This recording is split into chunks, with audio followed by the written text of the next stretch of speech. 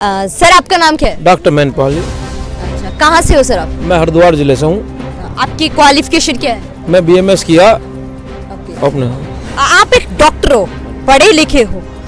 एक जो डेरा सच्चा सौदा के बारे में बाबा राम रहीम जी के बारे में मीडिया में इतना कुछ दिखाया।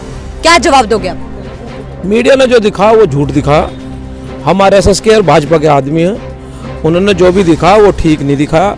यहाँ किन्नरों को भी नया जीवन दिया और गंगा मैया से लेकर, ऋषिकेश से लेकर वहाँ रुड़की तक हम लोगों ने सफ़ाई करी और ऐसी सफ़ाई करी कि वो प्रशासन भी उठा नहीं पाया था वहाँ से। तो लानत होना चाहिए मीडिया को और ऐसा घिनौना लगाने के लिए अगर वो इन पर पूर्वता दिखाओ हमें। अगर उन पर कोई पूर्वत हमें दिखाओ। ऐसा नहीं है। ये मान के चल रहे काम को, भाई जो कुछ दिखा जा, वो अच्छा दिखा जा रहा। माता बहनों का सम्मान किया जा।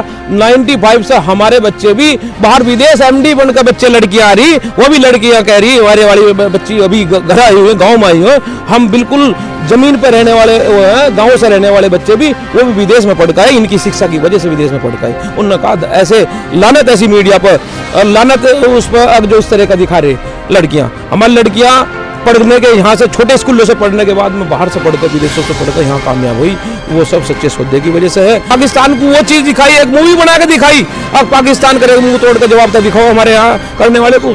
तो ये चीज़ें दिखाई बहुत बढ़िया देश हित में गई और देश हित के लिए काम करी माता बहनों के लिए काम करी और हम जो शराब दे शराबी एक रहे के गड़ा दारू पी कर तब वो इंसान बनाए और हमारे जैसे पापियों को भी अच्छी रहमत करी आपने गुरु जी हम तो देखिए किस तरह से ये मीडिया पे लानत डाल रहे हैं कि किस तरह से उन्होंने गलत न्यूज़ बना बना करके दिखाई ये बता रहे हैं किस तरह से गुरुजी ने समाज हित के लिए कार्य किए हैं, देश हित के लिए कार्य किए हैं। ये चीज़ मीडिया ने नहीं दिखाई, ये इनका सवाल है मीडिया से। सर, और आपने कहा है कि समाज के लिए गुरुजी ने बहुत कुछ किया है। अब देख रहे हैं कि काफ़ी समय से गुरुजी समाज में नहीं है, अब उनकी सत्संग नहीं मिल पा रही है। तो समाज में क्या प्रभाव पड़ रहा है अब उनका ना होने से? समाज में प्रभाव यह है कि लोग बाग नशा खोरेगे जो नशा माफिया थे, वो लोगों की उनकी शराब बिखरी और आप 20 परसेंट के लोग 20 परसेंट लोगों ने शराब, अंडा, मांस, मछली छोड़कर मुख्य धारा से जुड़े। अच्छा बहुत अच्छा मैसेज गया। घर घर में सुधार आया। हमने ऐसे ऐसे लोगों को यहाँ लाने के बाद में ये कि उनके घरों से आज आखा नंदी, उनके पक्के मकान बन गए।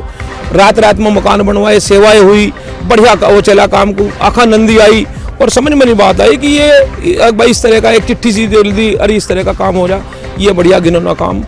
ये मीडिया को नहीं करना चाहिए। मुझे तो मीडिया के लोगों से सबसे बड़ी बात यह है कि मीडिया के लोगों ने ऐसा क्या ऐसा गुरु जी ने करा जो मीडिया दिखा रहे। अरे लड़कियाँ उन्हें तो वैश्याओं को लड़की बना के शादियाँ करी।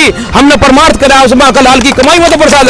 वो दिया गुरु जी ने उन तो वो काम करके दिखा दिया जो धरती पे कोई कर नहीं सकता। आप लोग कहोगे देखिए किस तरह से ये तमाचा मार रहे हैं मीडिया के मुँह पर कि बाबा राम रहीम जी ने वेश्या तक को अपनी बेटी बनाया, बेटियों के लिए इतना काम किया। इस तरह से खबरें क्यों नहीं बनाई हेडलाइंस उन्होंने? ऐसा क्या मिला उनको कि उन्होंने इस तरह से गंदगी दिखाई बाबा राम रहीम जी के बारे में, डेरा सच्चा सौदा के बारे में, जो वहाँ पे कुछ होता ही नहीं है। ये उन लोगों के बयान हैं जो आज जाते हैं डेरा सच्चा सौदा में। सच्चा सौदा की सच्चाई बाबा राम रहीम जी की सच्चाई दुनिया के सामने रखना चाह रहे हैं और मीडिया के जूत का पर्दाफाश करना चाह रहे हैं। आप लोग भी देखिए, सच्चाई इनकी जुबानी, किसी सूत्रों के द्वारा नहीं, इनकी जुबानी। आप सच्चाई जानिए और देखिए।